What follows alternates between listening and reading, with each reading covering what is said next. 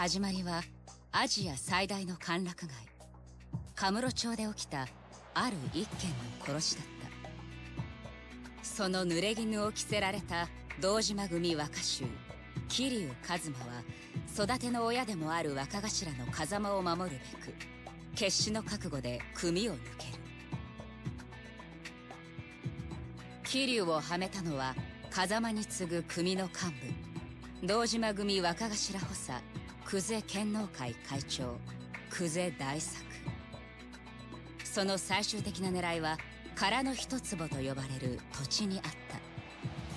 巨大な利権の絡むカムロ町再開発計画にとって欠くことのできない空の一坪。そのわずかな土地をめぐる極道たちの熾烈な争奪戦にある一人の男が桐生を巻き込んでいく。橘不動産社長橘哲。その背後に隠された風間の意志が桐生の運命を大きく変えようとしていた。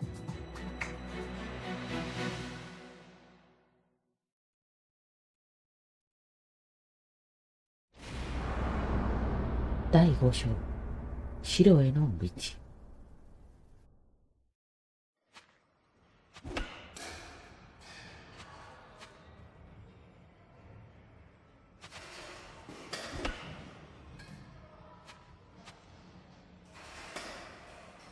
それで結局立花不動産と手を組んだってことか。ああ。とりあえずはそこの社員って形だ。社員？え桐生ちゃん就職したの？そんじゃ極道からの華麗なる転身ってとこか。まそこも堅気には思えねえけど。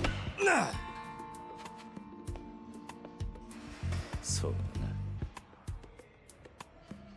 となるとお前の殺しの濡れ衣晴らす件は橘不動産が手貸してくれんのか立花はもう方々から情報を集め出してる。立花不動産の情報網を使ってな。期待できそうか？多分な。ただ立花が掴んだ話じゃ薩の方でももう俺のこと嗅ぎつけてるらしい空の一粒の死体から俺の指紋が出てる。おいそれじゃお前すぐ札に手配されちまうんじゃねえか。いやそれについちゃ立花が札に鼻薬効かせてる。完全に捜査止めるのは無理としてもいくらか遅らせることはできるって話だ。それでも真犯人を見つけない限りはいずれ札に追われる俺が街を自由に動き回れんのはもってあと3日ってとこだ。なるほど。でもやっぱり立花ってのは結構な力持ってんな。札にも太いコネがあるってわけだ。そうらしいな。その件についちゃとりあえず連中に任せるしかねえか。でお前は今何してんだ？だから不動産屋の仕事だ。は空の一粒の持ち主がはっきり見つかるまでの間だけどな。もう一息ってとこまで来てるらしいが。それまでは不動産屋の普段の仕事を手伝えって言われてんだ。仕方ねマジで？普通に不動産屋するの？仇の仕事するって？ああ小田っていう立花不動産の幹部が俺の教育係にいてな嫌な教育係。そいつとこの後喫茶アルプスって店で待ち合わやせただ。だがその前に俺のこの服を何とかしなくちゃならなくて。えなんで？別にいいんじゃない？服？極道丸出しじゃ仕事になんねんだと。まっとうな仇に見える服えでもを仕桐生ちゃん顔がってさ工藤だからな。どうしようかな。ああお前もしかしてそれで俺のことを呼び出したのか？ファッションモンスターでしょ？服についちゃお前に聞くのが一番だ。お前ならまっとうな仇の服見立ててくれるかと思ってな。人を見る目があるぜお前。わかった。任せとけ。安心しろ。そんなに期待しちゃいない 俺が選ぶよりはいくらかマシだろ？そうだね。キリュウちゃんよりかは全然いいと思うわ。それが人に物頼む態度かえ、錦は多分うまいよ、選ぶの。そう。じゃあ今から服見に行くの？どこ行くの？青山とかかな？待ち合わせまで時間どれぐらいあるんだ？そんなにはないな。できればカムロ町で買い物を済ませカムたいロ町スーツある？それじゃああんまり選択肢はないな。この近くでビジネス用の服売ってる店っつったら中道通り裏のメンズスーツか。メンズスーツ？中道通り裏？そんなとこに服売ってる店なんてあったか、うん。なくない？新米のホストがスーツ買いに行くあ、ような店だ。なるほど。高級ブランドなんかは置いてねえが。まあとりあえずの間に合わせにはちえ、ょうどいいだろでもリクルートとかある？リクルートスーツ？贅沢は言わねえさそれじゃ行くか肩着の服を買え。お前何してんの？なんか、五郎とかも大変な日々を送っとったはずなんやけど、お前は何をしとそれにしてもおめえうん。俺に服の見立て頼むってことはセンスねえって自覚があったんだな ねえよ、キリちゃん余。計なお世話だやべ、こいつほなんか、ら別にヤクザっぽい。無難に済ませてだけだよお前も適当にやってくれりゃいい。でも街中でも絡まないってこと？俺がやるからには手は抜かねえよ。きっちり気合の入った敵に仕立ててやるって。ありがとう。いや普通でいいって言ってんだろ。錦歩くの遅いよ。まあ任せておけ。錦そういやおめうん。えガキの頃からなんか親父っぽい服着てたよな。何？そうだったか。ああたまに好きな服選べるって時もよりによってそれかって服ばっか手に取ってた。地味っていうのとも違う。よくわからん。柄の入ったシャツとかよ。似たいね。さあな。忘れたよ。キリュウちゃん、でもよくそんなこと変な着てそうや覚もんな。今だから言うけどよ。うん。俺はおめえみてえな服だけは選ばねえようにと思ってファッションに目覚めたそうなんでいい反面教師になったんだね。そこまでひどかなかったろ一丁前に傷ついたか？でもまあ今回は俺がついてんだ。大事な兄弟を悪いようにはしねえよ。よろしく頼む。任せとけって。ね、あそこにチンピラいるんやけどさ、あいつやる気みたいだぜ。やれやれ。錦やれ。僕肩着だから。やれやれ。やれ錦やれ。やれ。こいつはやるんだ。やれ。僕が今就職中だからできないんだよ。錦あまり就活中にさ、ああいう喧嘩とかってよくないんじゃないの？なんで錦ボコボコにしてくれないの？不動産屋で働くんならスーツだろう。ん。なんかイメージとかあるか？えー、菅田将暉。イメー。ジ？色とか柄とか？スーツっつってもいろいろあんだろああそういうことか。中道通り、こっちか。そうだな。紫に金の縞模様か？いやまあよくわかるやべえ、キリュウちゃんやっぱ一人で選んでダメわかった俺がいらんこと聞いた悪かったな紫に金の縞模様。村瀬くんしか着なさそうなチョイスするな。覗き紳士。これじゃないやな。覗き紳士じゃないよね。あ、これか？え違う。新品中古販売。竹肉屋。えここ？占い。あ、あるあるメンズスーツ。あ、いいじゃんいいじゃん。あ、紫あるよ、キリュウちゃん。着いたぞここだ本当にこんなとこにあるんだなそんじゃ入ろうぜ気に入ったのがあったら言えようん。あ気に入ったやつか。うんキリュウちゃんに全部任せてあげたいな。無難な線だとこんなところかなんかとしねえな。パッとしないとか言わないよ。地味だな。就職なんだから。それが仇ってもんだろうが。見え張ってなんぼなのは極道だけだ。ただこれじゃなんていうか貧乏人っぽく見えるんじゃねえか。いいのそういうので。ならおめえにぴったりだな。あ、そういうこと言う。うるせえな。おこれなんかどうだ？バカ。おめえそれ絶対やめとけ。ん。選ぶんじゃないかとは思ってたけどよ。何チョイスしたら見せなよ。なんでダメなんだよ。これじゃあスーツの自己主張が激しすぎてアクセサリーや髪型靴う。ん腕時計全身コーディネートしないと浮いちまう。お着こなすにはセンスだけじゃなくて手間も必要だ。おめえみてえに無頓着なやつだと服に着られるのがオチだ。ーなるほど。七五三状態になるのね。たく。めんどくせイライラしない？それじゃあこれはどうだ？色は落ち着いてるがラペルがピーク度で何？ラペルがピーク度って何？白か。白？さっきの柄物に比べりゃマシな方だろう。よしこれ試着してみろよ。うん。ラペルがピークドって何？プペルしか知らないんだけど。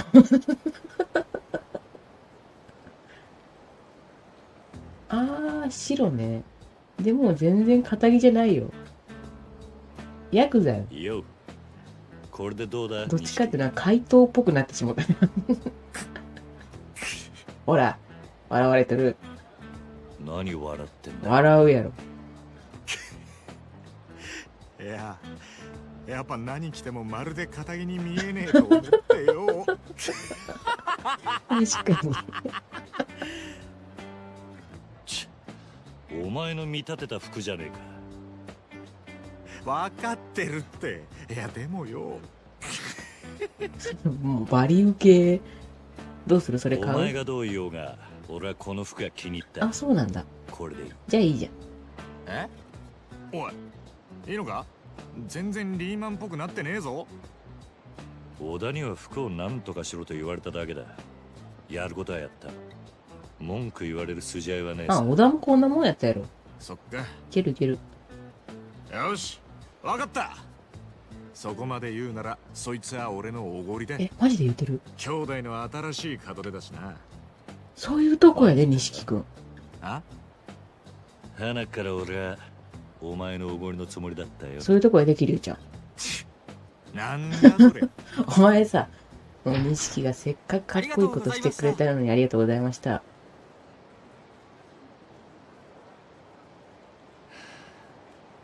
付き合わせて悪かったな錦助かった。ああお前この後待ち合わせなんだろ？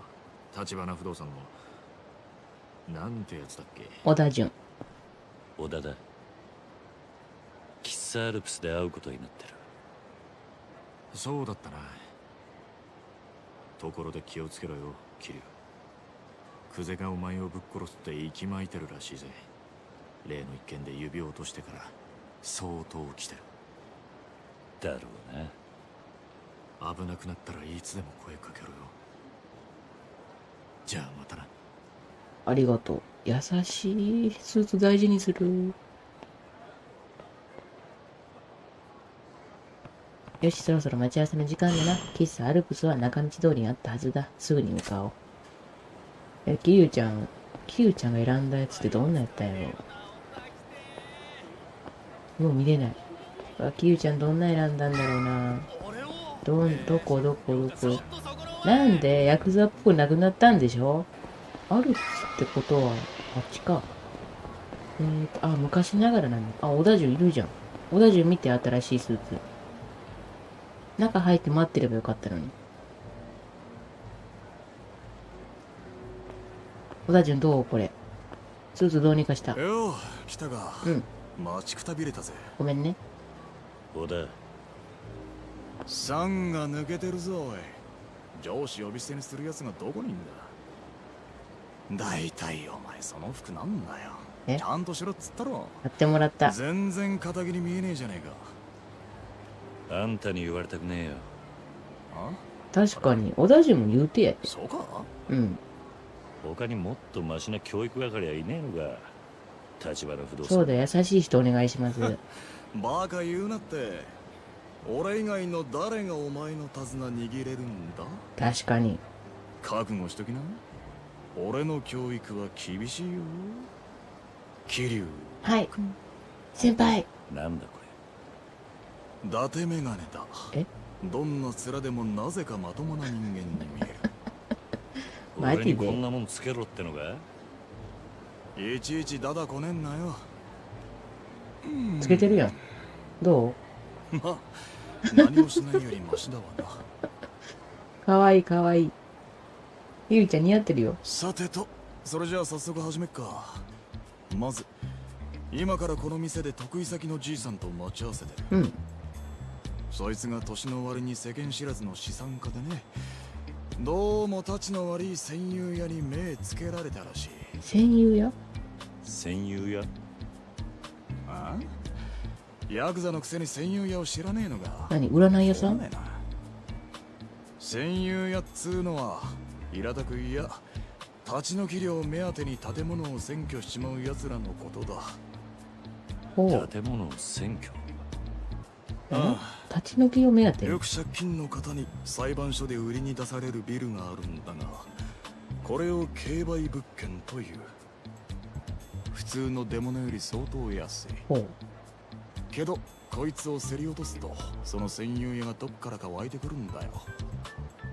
で自分たちはこの建物から出ていかないぞと居座る。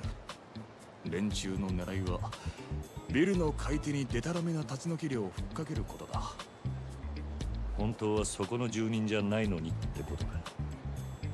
そういうこと。なるほど。もっとも占有屋は大抵ビルの元の持ち主とグルだ。なるほど。占有屋はせしめた立ち退き料から元の持ち主に分け前を払うって仕組みになってる。それじゃあその戦友屋を力ずくで追い出すのが俺らの仕事ってことか？いやそうはいかないんだ。か弱いビルの住人たちは法律で守られているんで、うん、生瀬にめっちゃ現金与えてたもんね。力ずくで行けば警察沙汰になる。うん。そん時捕まるのはもちろんこっちだけだ。おかしな話だろ。結局ビルの買い手は理不尽な金を払わねえと占有屋を追い出せねえんだ。確かにな。けどその金をなるべく払わずに済ませたいってのが今回の俺たちへのオーダーだじいさんそろそろ来ると思うんだが。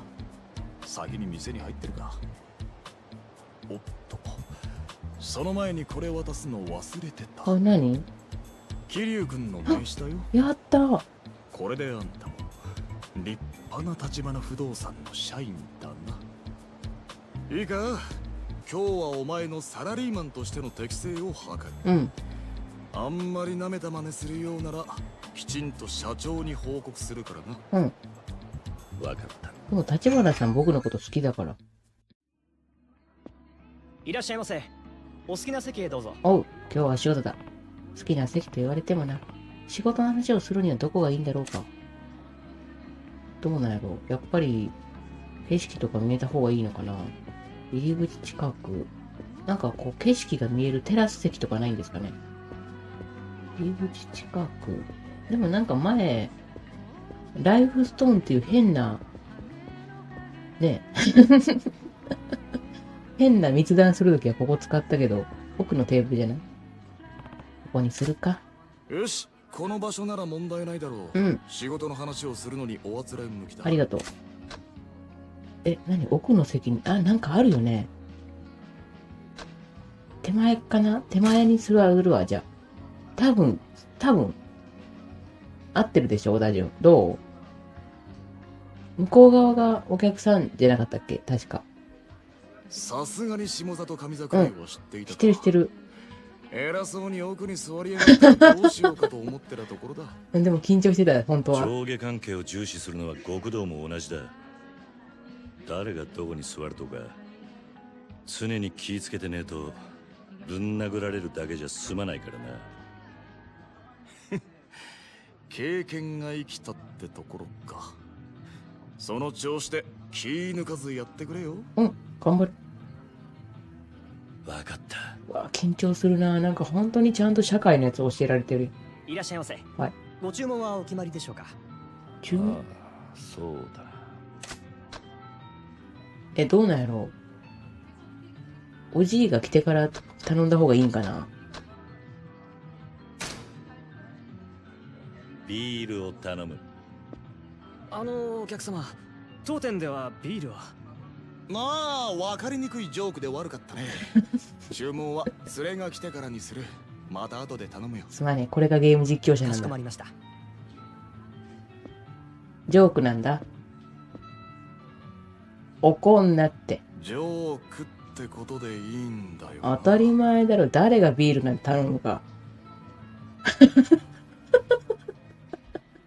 ヤクザの世界じゃどうだか知らねえが昼間っから酒の匂いプンプンさせてるようなやつ仇の世界じゃ誰からも信用されねえからな。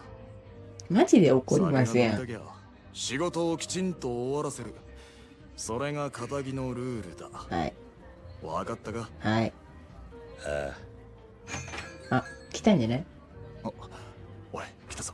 あのじいさんが今日の客だ。小田順めちゃ怒る。どうも山根さん。お久しぶりです。山野井さん？ああ悪いね小田さん。なんか面倒なことになっちゃって。こちらは？どうも。うちの新人で桐生です。山野井さんよりご依頼の件こいつがやらせていただきますんで。へえそうですか。名刺を出す。何それ。あ立花不動産の桐生です。びっくりした。どうも。いいぞ焦った。名刺交換は挨拶の基本だはい。どんなに顔を売っても名刺を渡し忘れるようじゃ、はい。その先の取引には繋がらないからなはい。だが残念 名刺が逆これ私悪くないじゃん。私ちゃんとやったもん。キルちゃんのポンコツだもん、これは。ま初めてにしちゃ上出来だ多めに見といてやるよ桐生さんですか？はい。これからよろしくお願いしますよよろしくお願いしますね。こちらこそよろしくお願いいたしますワインベーダーゲームある。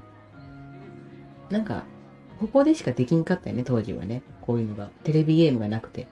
なるほどお話聞く限り相手は典型的な戦友屋ですね山野井さんがそのビル落札したのは先月でしたか？すると戦友屋が居座り出したのはその直前。ええま戦友屋は一人ですね。あはい。辻って男です。辻。40過ぎくらいかな。なんだかホームレスみたいな汚らしいやつでして。ほう。そいつから立ち退き料の要求はありましたか？まだですできればそのあたりの交渉も全部立花さんとこにお願いできればと思ってまして。私も年寄りですし怖くてね。なんとかうまいことあいつを追い出してもらえませんか。もちろんです。時に山野井さん戦友屋への立ち退き料いくらまでと考えてます？早いとこ済ませたいですしそうですね500万くらいなら500万。500万？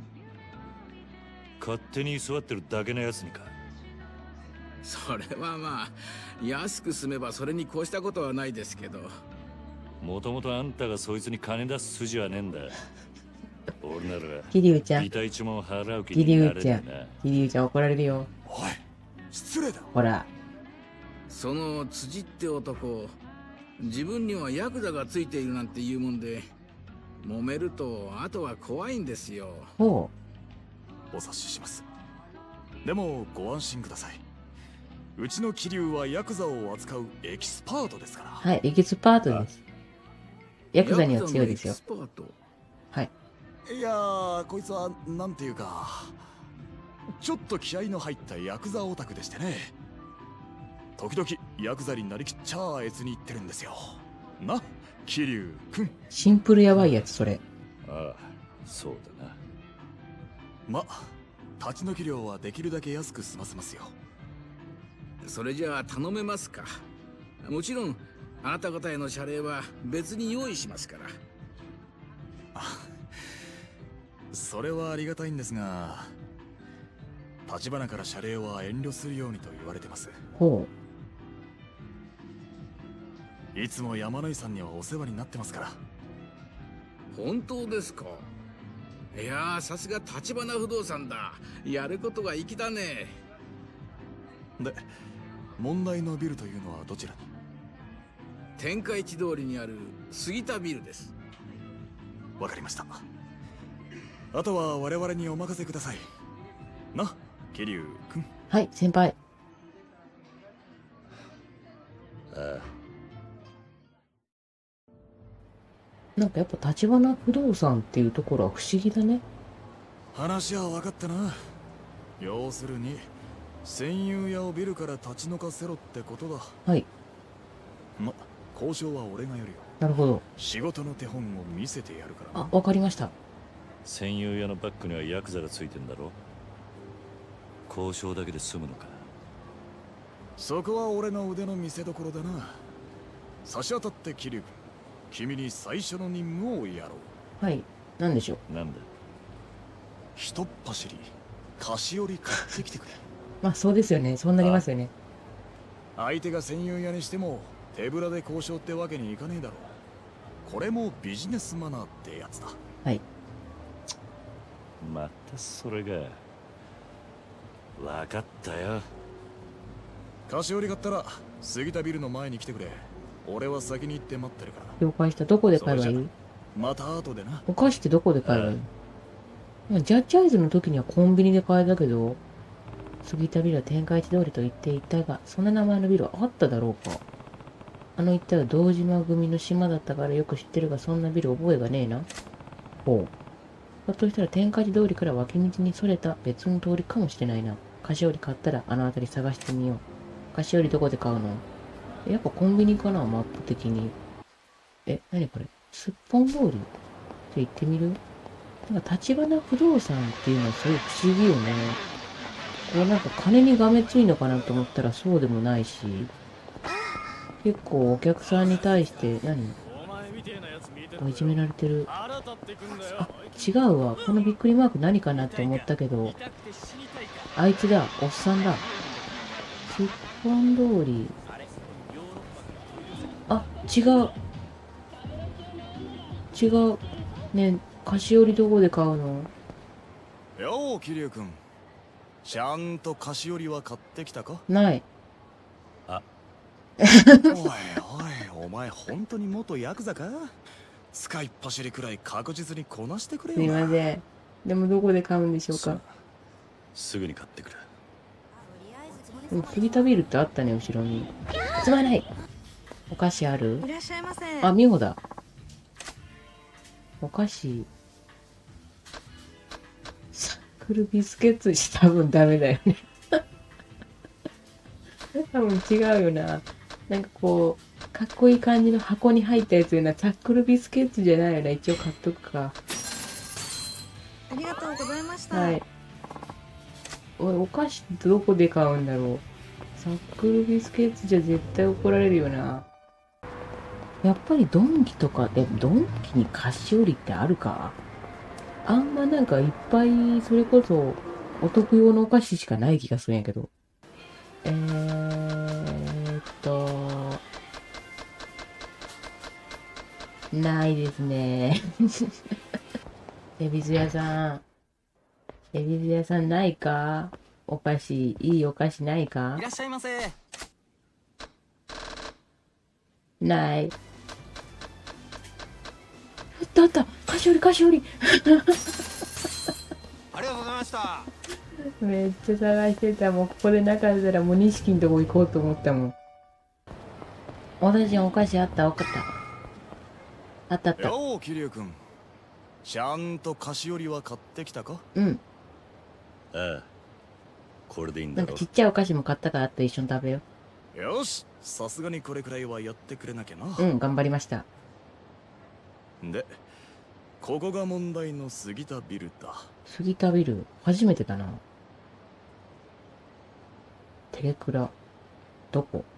でもまあ、このビル全体で居座ってるってことだよここに戦友屋がね。居座っているってわけかああそれじゃ行くぞお、行きましょあう。もうこんなんが出るってあおことは手並み、拝見と行こうか役だとしなきゃいけないんだな、いろいろ。まあ見てな勉強させてもらいます。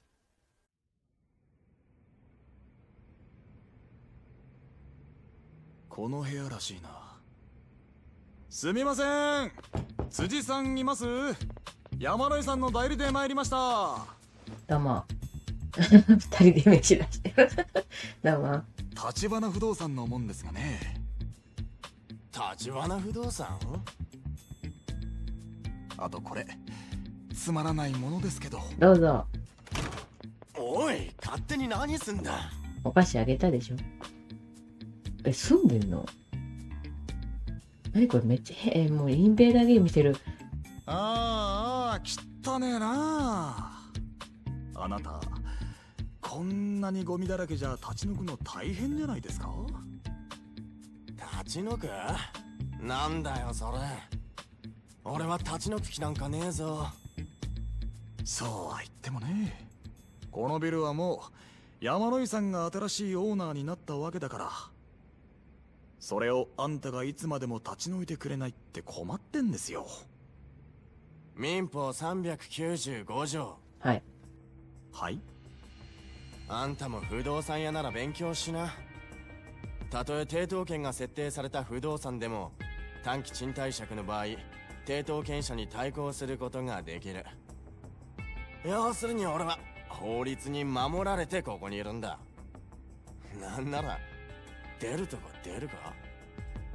固いこと言わないでくださいよ。立ち退いてくれるなら引っ越し費用はこっちで持ちます。ここの物件と同程度のとこをうちでご紹介しますよ。あのな俺はここが気に入ってんだよ。そうやって何でも金で解決しようってのは感心しないね。立ち退き料目当ての戦友屋がよく言うななんだよ戦友やって。てめえ言いがかりつける気か？ねえ辻さん。茶番はよしませんか？新しいオーナーさんとしてはさっさとこんなボロビル転売して人儲けしたいわけです。そんなもんそっちの都合だろ。お前ら下っ端じゃ話になんねえ。そのオーナー連れてこいよあ？だったらそっちもさっさとバックにいるヤクザ。出したらどうです？ヤクザ？何の話かわからねえな。だからそんな猿芝居はいらねえってんだよ。部屋に居座るだけが脳のチンピラがでけえ口叩くな。なんだと？あんたごときにオーナーは出てこねえよクのヤクザに伝えとけ。お前らの交渉相手はこの立花不動産だってな。あんま調子に乗んなよ。不動産や風情が。それじゃ要件は伝えましたよ。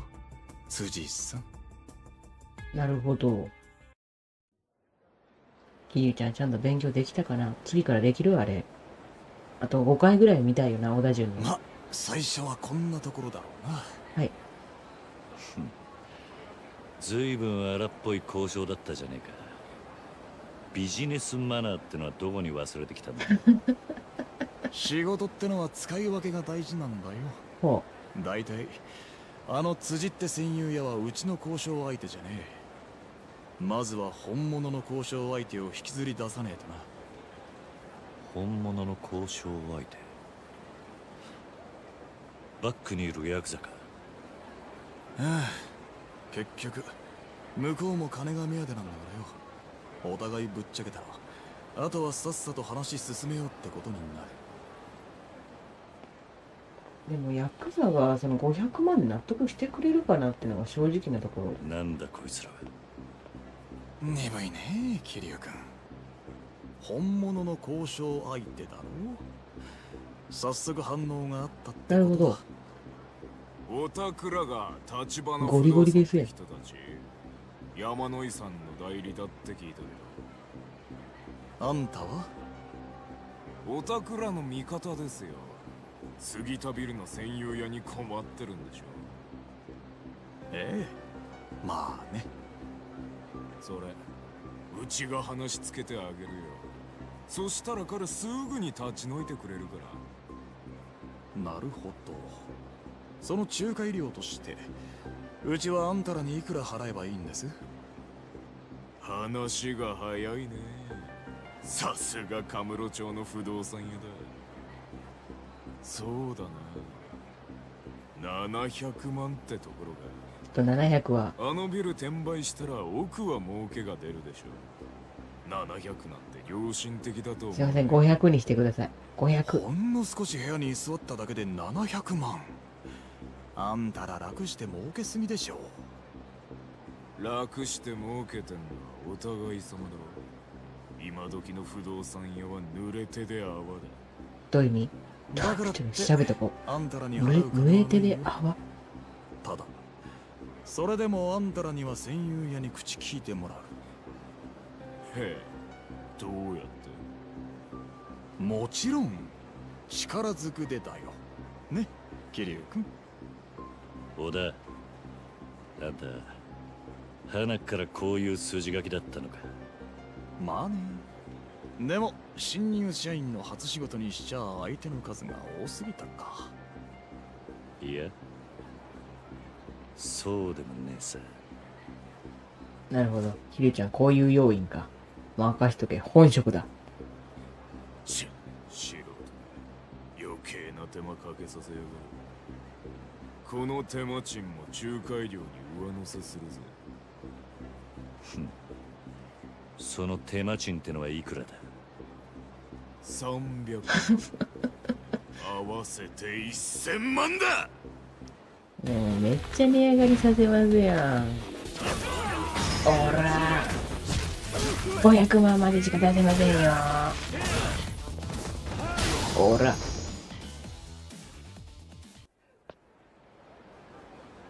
500万で手を打とう。どうだい？てめえらこんな真似してタダで済むと思うな。シュン。その面覚えたからよ。お前らどこの組のもんだ？登場会太平一家だ。大変一個太平一家あいつの堂島組若頭補佐阿波野弘樹。うちを敵に回したこと後悔しても遅いからな。首を洗って待ってやがれ。やだ、あの三大将結局全員敵に回すんちゃいますの。嫌なんですけど。河村町には星の数ほどヤクザの組があるのによ夜によって。堂島組の下っ端だったわけか。まずいとこにぶつかっちまったな。もっとも俺らが殻の一粒を追ってりゃいずれ勝ち合う相手だ。いい挨拶代わりになったんじゃないの？でもこれでこの一件は済んだった、誰？え？誰？辻か戦友屋の辻さんあよ、辻だ。はい。出てけ。まだそのビルに居座るつもりならさっきの話の続きするかい？いやその。あんたの後ろ盾は見ての通りだよ辻さん。それでもまだ一人で頑張る気いいえめっそうもないゲーム持って帰れよ。それじゃ今夜中にあの部屋出てってね明日の朝までいたらこの桐生君が何してかすかわかんない？よわかんないぞ。今夜中に立ち退かせていただきますすすいませんでしたなるほど。桐生ちゃんこういう要因か。任しとけ。変に営業するよりかはできそうだ。これがあんたの仕事のやり方ってわけか。俺のじゃない。全部立花社長から教わったやり方だよ。へえ。ま最初の仕事にしては上出来か。どう？極道やるよりよっぽど楽しかったろ片木の人間からも感謝されるしな。俺が極道になったのは仕事を楽しむためじゃねえさお前もしかして殻の一粒手に入れたら極道に戻る気か？そんな先のこと考えてねえよ。そっか。それよりこの後はどうする？ああ問題の戦友屋は追い出した。お前は山野井のじいさんに報告頼む。それが済んだら天下一通りのセレナって店に来てくれ。セレナ？ここのすぐ近くだ。セレナ？何の店？えまだ知り合いじゃないんだ。ただの小さなクラブだよ。え？安心しな。今度は仕事じゃない。ささやかながら今日の打ち上げと行こうじゃないの。俺のおごりだ。案外気前がいいんだな。まあね。その代わり山野井さんへの報告はお前一人で頼むわ。え？あのじいさんマイボールでボーリングするのが日課でね。マッハボールに行けば会えるえーなんかボーリングしようとか言わないよね、あのおじいさん。マッ。ハボールか。わかっそれじゃまた後でな。え、まだじゃあ、レイナちゃんと出会ってないんだ。このセレナで多分会うもんね、おそらく。